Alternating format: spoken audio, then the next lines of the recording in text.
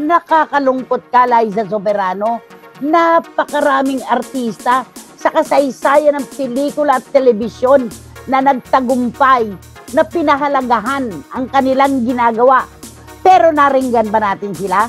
Kahit si Nora Honor, kahit si Nora Honor, wala siyang sinabi na, eh kasi naman ganito, eh kasi yan lang ang proyektong ibinigay sa akin, inalisan ako ng karapatan na maging ako. Tapos ngayon, sasabihin mo, ngayon mo pa lang na e-enjoy ang buhay mo bilang ikaw si Hope Elizabeth. Di ba, Romel, nakakaloka. Mm, Ah, wala, walang utang na loob itong batang ito. Batikang kolumnista na si Christopher Min binanatan si Liza Soberano kaugnay sa paglalabas nito ng saloobin sa kanyang naging karera noong nasa pangangalaga pa ito ng ABS-CBN, Star Magic at talent manager na si Audrey Diaz. Ang dating daw kasi sa sinabi ni Liza, tila ba'y naging sunod-sunuran na lamang siya sa mga namamahalas sa kanya sa nakalipas na labintatlong taon. At bilang kaibigan ni Audrey Diaz ay nasasaktan daw si Christy Fermin para dito. At ahasang tinawag si Liza na walang utang na loob at reklamador.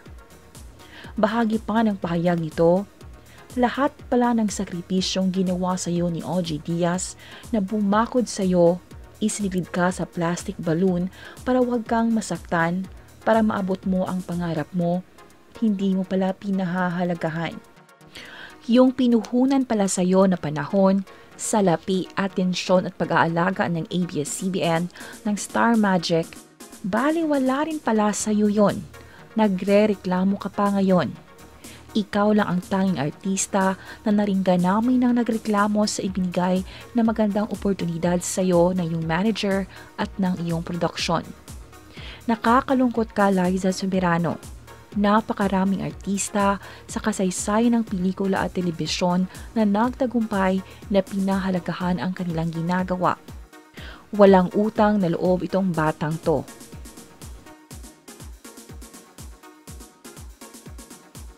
Mel, nakakaloka. Ah, wala, walang utang na loob itong batang ito. Ito pala yung ano, ito pala ang tunay na dahilan kung bakit ka umalis ng Pilipinas. Hindi yung gagawin mo pa sangkalan, yung Hollywood, nabutas ng karayom, ang lulusutan mo bago ka makapasok.